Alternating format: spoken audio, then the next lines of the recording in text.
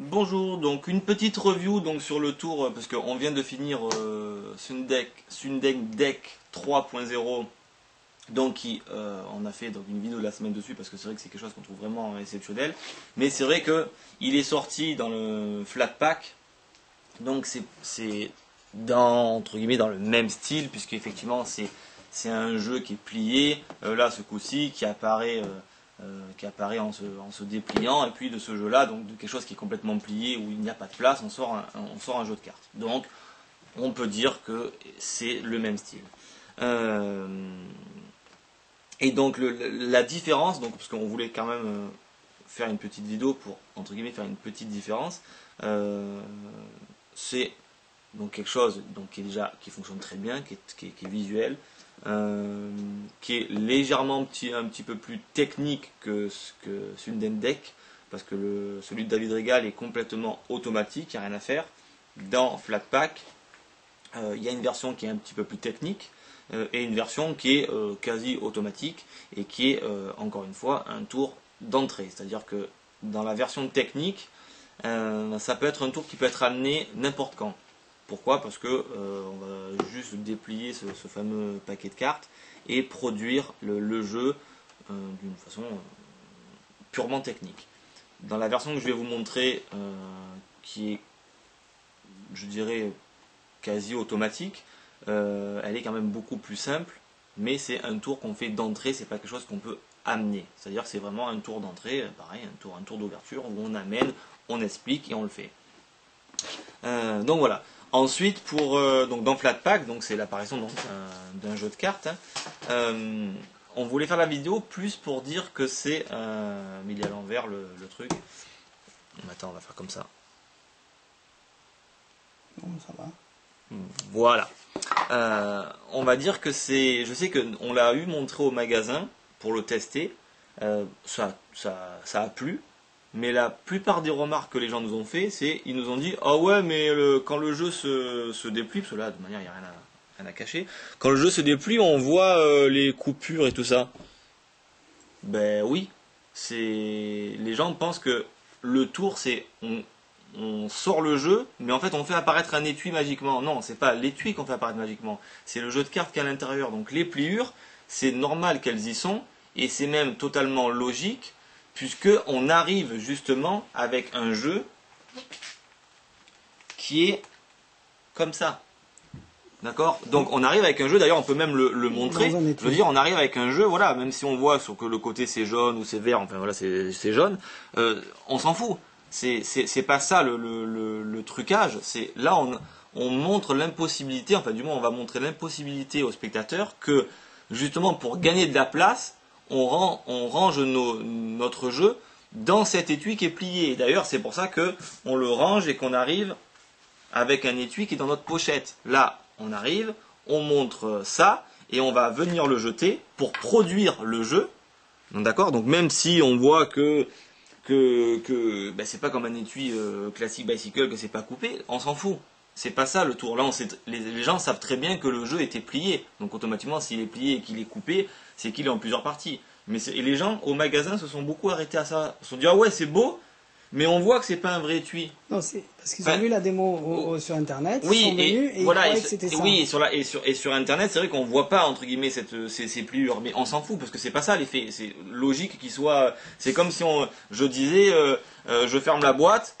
Et quand elle est fermée, euh, on voit là le trait. Ben oui, c'est la coupure de la boîte. Et ben là, c'est pareil. C'est le jeu, on l'a montré plié. Donc, donc, ce qui est beau dans l'effet, c'est boum le flash parce que ça, les gens ne s'y attendent pas, d'accord? Et c'est après d'un coup l'effet derrière où on va, là je le fais pas, mais je vais le faire après, où on va ouvrir le jeu et effectivement le jeu à l'intérieur.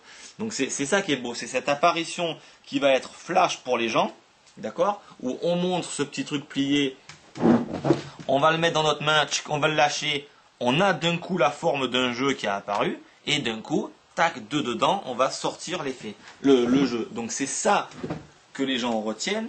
C'est l'effet des deux qui est voilà, magique. C'est l'effet des deux, mais c'est vrai qu'aux magiciens qui sont venus au magasin, euh, du coup, eux, euh, ils ont retenu que l'apparition en fait de l'étui et non pas l'apparition du jeu. L'apparition du jeu, pour eux, pour eux, ils ont dit oui, bon, ça c'est normal, entre guillemets, c'est l'effet, mais l'effet magique pour eux, c'était le déploiement du jeu.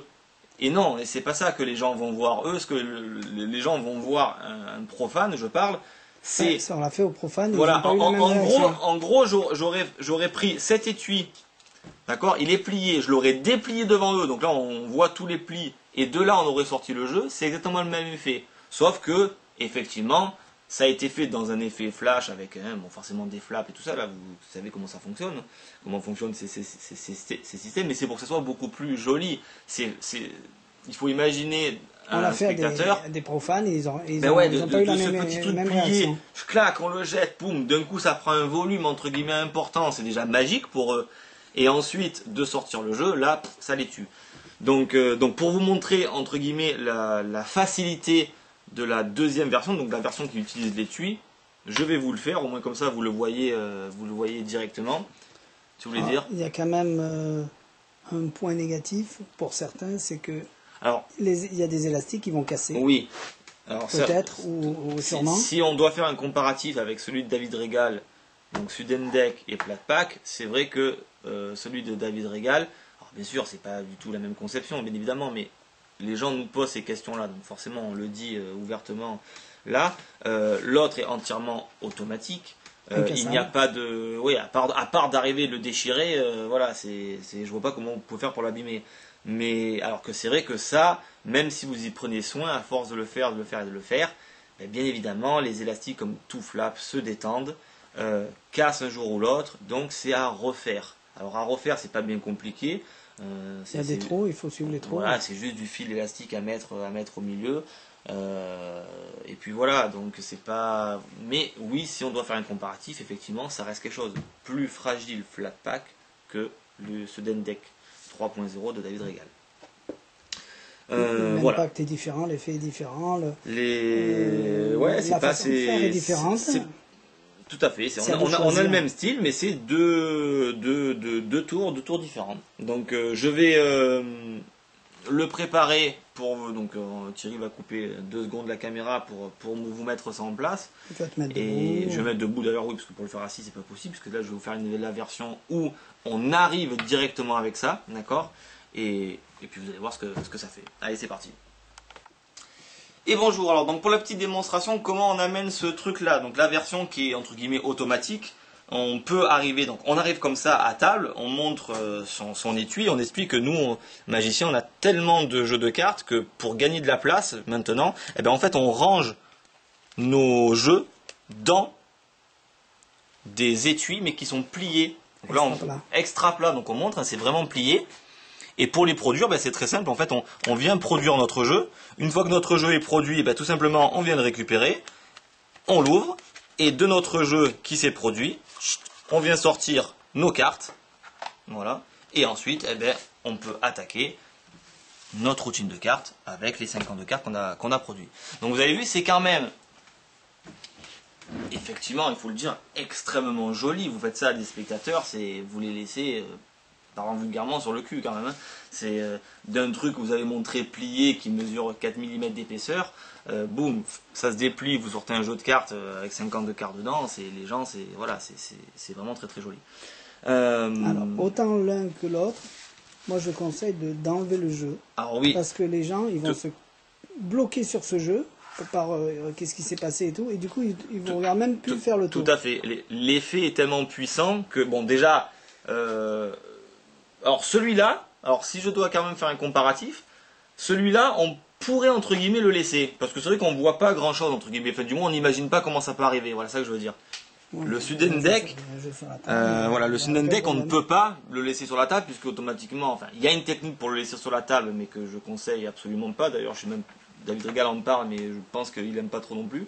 Euh, enfin bref, mais effectivement, c'est l'effet est tellement puissant que ce que vous allez faire par, par la suite, les gens ils vont, ils vont regarder là, ils vont être absorbés par l'effet en, par l'effet en disant comment, comment ça pourrait être dedans. Donc effectivement, je pense que ça casserait l'effet. Donc quand vous produisez votre, euh, votre jeu euh, de dedans, d'accord En plus, ce qui est bien, c'est que quand on produit à la fin, on peut le montrer des deux côtés.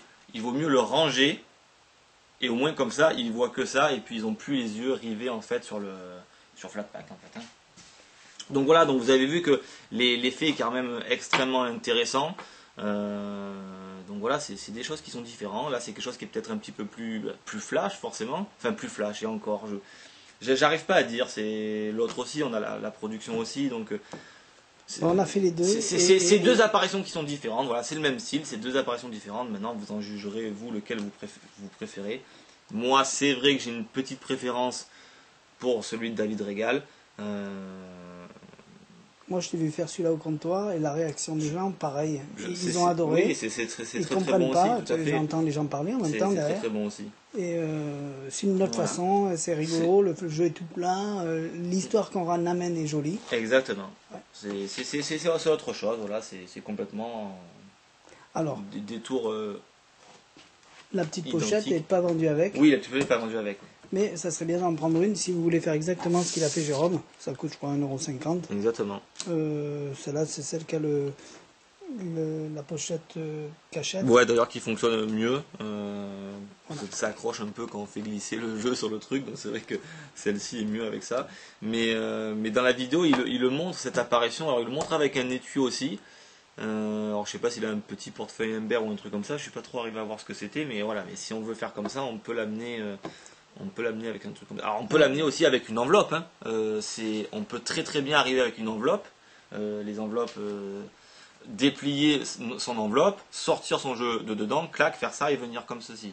C'est, ça marche très très bien avec ça. Moi je l'ai fait avec ça parce que ça y ressemble étrangement à ce qu'il avait dans la, dans la vidéo, mais on peut faire ça avec une enveloppe. Donc voilà. Après, il y a une autre version plus technique. et la version là, plus technique, voilà, ça la, la version la plus technique, c'est, alors c'est vrai que c'est très très bien. Euh, Il sort de son portefeuille, Voilà, ce qui est bien, c'est que là, voilà, on sort son portefeuille, on sort de n'importe quoi. On a les mains qui sont, on ne tient pas quelque chose en main, on a que ce petit truc là. Boum. D'ailleurs, on le produit dans la main du spectateur. C'est euh, ce, qui est, ce qui est beau. Euh, Alors pour le, la continuité, parce que je voulais quand même, j'en ai parlé, mais je voulais le montrer. Pour Flatpak, ce que je trouve intéressant, c'est de le faire avec une enveloppe.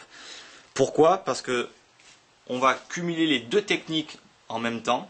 C'est-à-dire qu'il y a la technique où on arrive avec directement un étui comme ça, euh, et puis bon voilà. Et, euh, et l'autre où on arrive avec rien, on produit notre jeu, et puis on va amener cette, ce fameux étui. Et ben, je trouve que d'utiliser l'enveloppe euh, pour ce tour-là, c'est intéressant parce que on va euh, simplifier la technique qui, est, qui était plus ou moins difficile et on va améliorer le tour de base euh, parce qu'on va vraiment montrer qu'on a entre guillemets rien devant, rien derrière. D'accord? Enfin, Rien dessus, rien dessous. Et pour les gens, voilà, on n'arrive qu'avec ça. Et ils savent très bien que ce qu'on va expliquer, ce n'est pas possible d'avoir un jeu de 52 cartes dans une enveloppe qui fait euh, 4 mm d'épaisseur. Et on va le prouver. Et c'est ça qui est beau. Donc on arrive comme ça, on montre donc une enveloppe, on explique que effectivement vous pouvez toucher. hein, maintenant c'est les nouveaux jeux qui sont que, que je plie dedans. hein, voilà. Mhm. On va venir récupérer cette enveloppe, la prendre. On montre que pour gagner de la place, ben, effectivement on range maintenant nos jeux dans des étuis qui sont pliés en quatre et on va le prouver. On va produire cet étui. Une fois que cet étui est produit, on va le récupérer. On va ouvrir et on va récupérer de cet étui nos 52 cartes à jouer et on va attaquer la routine avec eh ben, nos, nos- nos 50, nos, 50, nos 52 cartes. Donc après, une fois qu'on a produit notre jeu, on peut faire ce qu'on a envie. Donc voilà, je trouve l'idée intéressante avec, le, avec cette enveloppe pour ça. Voilà, c'est qu'on est clean, on est vraiment très très clean au départ.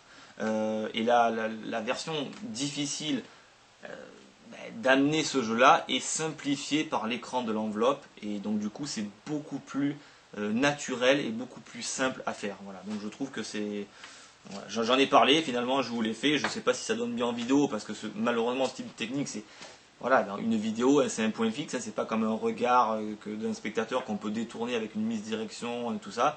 Mais voilà, je pense que ça fait joli quand même et c'était pour vous prouver que fait comme ça, le flat pack reste un excellent tour. Voilà, donc euh, là je pense que j'ai tout dit et euh, à la semaine prochaine. Tu nous, tu nous expliques tout en vidéo? Oui, et bien sûr tout ça sera expliqué en français, euh, euh, au moins comme ça vous comprendrez bien tous les, tous les micro-détails. Moi je dis merci Jérôme. Eh ben tant mieux. Allez, à tout à l'heure.